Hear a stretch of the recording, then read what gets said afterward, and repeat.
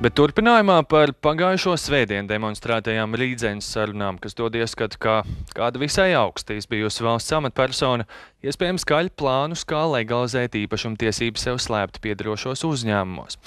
Rīdzenes sarunu galvenie varoņi nenoliedz, ka tādas notikušas un pretēji kādas piejūras pilsētas mēram arī kategoriski neapgalvo, ka viesnīcas numuriņā būtu runājuši tikai muļķības viena. Mūsu iegūtie skaidrojumi gan iezīmē kādu tendenci. Vairums sarunu dalībnieku mēģina runāto padarīt par maznozīmīgu, esot spriest tikai par iespējamiem nākotnes plāniem, un nekādus noziegumus tur meklēt nevajagot.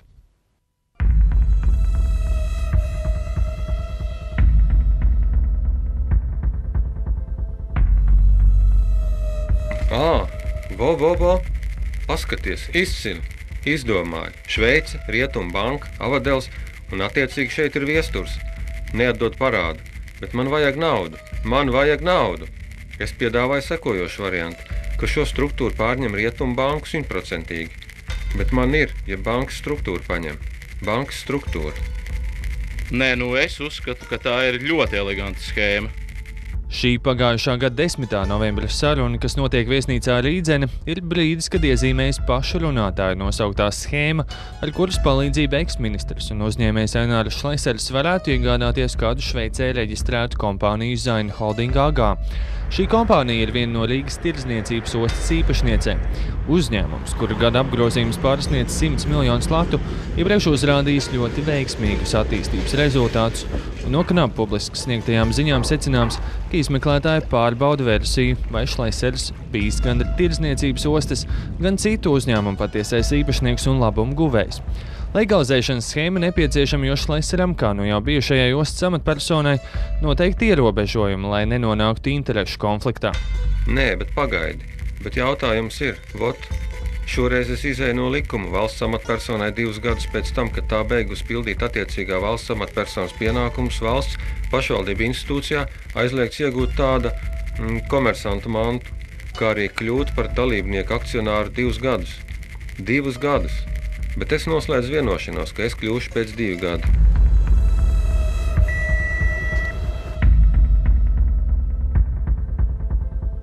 Rīdzenes sarunu galvenais varonis Ainārs Šleseris neapšauba de facto demonstrēto sarunu patiesumu, taču mēģina sarunās dzirdamo padarīt par maznozīmīgu, apgalvojot, ka runāts vien par nākotnes plāniem.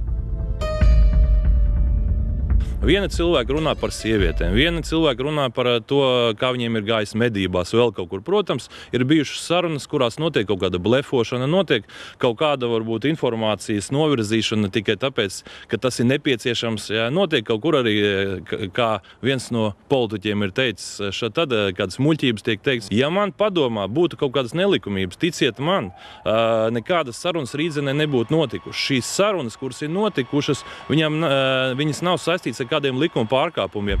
Pretējās domās gan ir korupcijas novēršanas un apkarošanas birojas. Izskanējušas ziņas, ka jau drīzumā daļa no tās augtās oligarhu lietas varētu nonākt prokuratūrā. Tiek gan pieļauts, ka pagaidām tā vēl nebūs daļa par slēptajām īpašumtiesībām. Viena no sarunām ir par laikrakstu dienu, kur viņš saka, ka viņš vēlās iegūt ekonomisko kontroli paketi. Ziniet, es, redziet, es nevēlos vispār komentēt nevienu no sarunām. Jo, redziet, ja jums uzstādīs kameru guļamistabā, toaletē, vēl kaut kur, nu, ir dažādi konteksti, kāpēc kāds par kaut ko runā un tā tālāk. Ne? Es nevēlos piedalīties šajā ažiotāžā. Es neesmu vairs publiskā amatpersona. Es tiekos ar jums kā privāta persona. Es ceru, ka jūs to novērtējat. Man nav jāatbild uz jautājumiem, to, par ko būtu jāatbild šodien saimnes deputātam vai kādam ministram.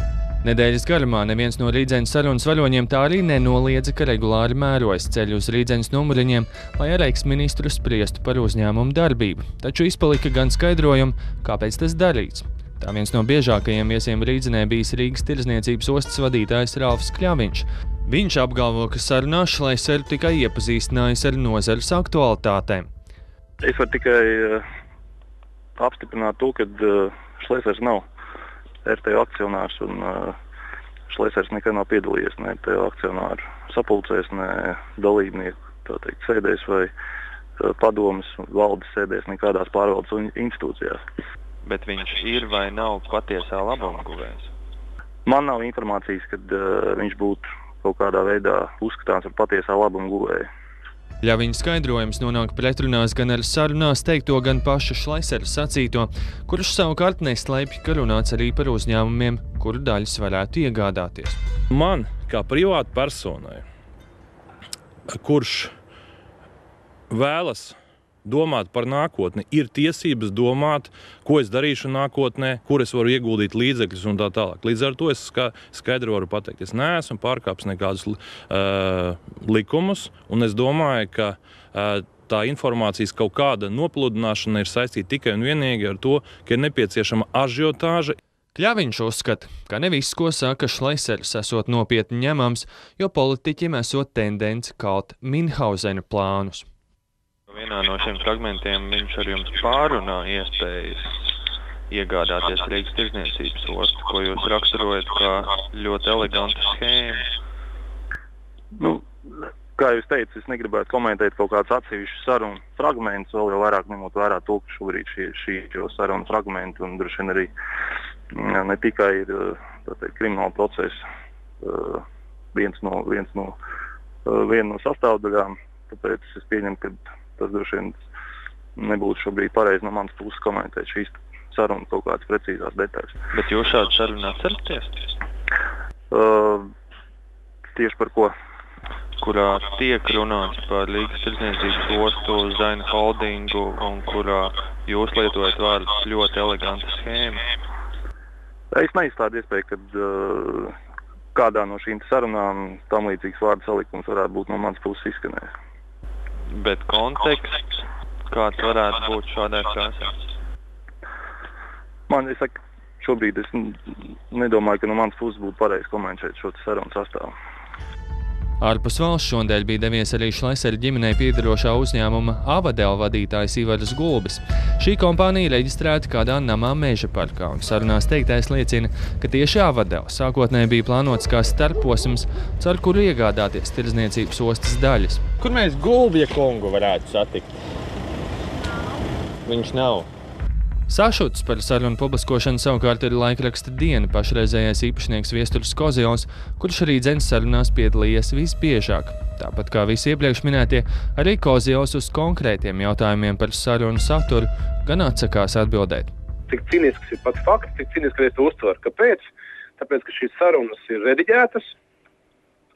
Es visas, protams, neatceros sarunas, kurās esmu piedalījies, jo tas nav iespējams. Tur vairāk gadu garumā tas noticis, ir, bet šīs sarunas ir rediģētas un tas nav, tas nav godīgi.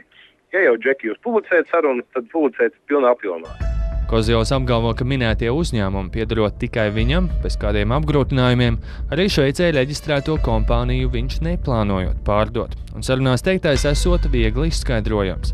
Šlesers vēlmo uzdevusi par esošo. Man jāsaka tā, ka nu, arī mans draugs Šleserkungs arī kādreiz ir, ir grēkojis ar to, ka viņš bieži vēlamo uzdot par par esošo un uh, nākotnes formas, kaut kādas vīzijas uzdod par pagātnes vai tagadnes formām. Un, nu, es viņu pazīstu un zinu, un es vienkārši tam nekādu uzmanību neesmu pievērsis. Ja pašreiz tā sauktajā oligarhu lietā iesaistītie mēģina runāt to padarīt par mazbūtisku un vienkāršu biznesa plānu kaušanu, kas tiešām nebūtu nekas krimināli sodāms, tad knabi ieskatā runa ir jau par daudz nopietnākām lietām, kas aprakstītas nerīdzenes sarunās, bet gan krimināla likumā, proti, noziedzīgi iegūt līdzekļu legalizēšanu, nepatiesu ziņu norādīšanu valsts amatpersonas deklarācijā, dienas stāvokļa ļaunprātīgu izmantošanu, kukuļu ņemšanu, kukuļu došanu, neatļautu piedalīšanos mantiskos darījumos un valsts amatpersonai noteikto ierobežojumu pārkāpšanu.